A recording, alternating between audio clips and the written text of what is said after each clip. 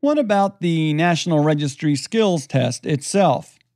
Well, the National Registry's minimum requirements for a skill test when they are handling the testing process involves five predetermined skill stations and one station of random BLS skills that may be tested. The mandatory skill stations are patient assessment and management of a trauma, patient assessment and management of a medical patient, cardiac arrest management and AED use, spinal immobilization for either a seated or a supine patient, bag valve mask for an apneic patient with a pulse, and then the random skill stations. One of these will be chosen at random at the test site, and you'll get one of them, not all of them. These include long bone fracture immobilization, joint dislocation immobilization, traction splinting, bleeding control and shock management, upper airway adjuncts and suction, mouth to mouth with supplemental oxygen administration, and supplemental oxygen administration. But what about the test itself?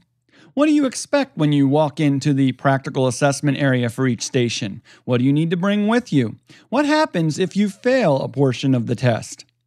These are all questions I had when I took my EMTB practical. Luckily, I had an instructor who tried to prepare all of us for what to expect. You should rely on your instructor and use them as a resource to address your concerns. Every area or jurisdiction will have some differences in how they administer testing and how they set up for retesting when that's needed. The National Registry for EMTs lets states and educational centers like colleges set up and test their own EMTB students at the practical level. The basic minimum requirements I discussed a moment ago but your region may test more than the six practical stations that the National Registry requires.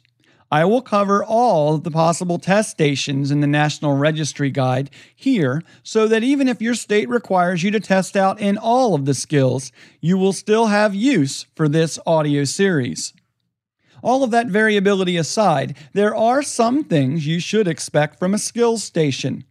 The equipment should be in correct working order, and you will have an opportunity to briefly inspect equipment that is provided to you.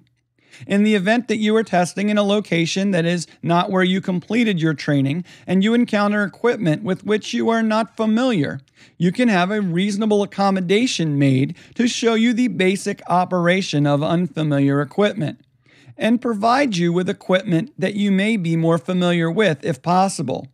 An example of this would be if there was a different traction splint device available where you trained, such as a Sager splint but the test center is using a Hare traction splint device. The two key words here are brief and reasonable accommodations.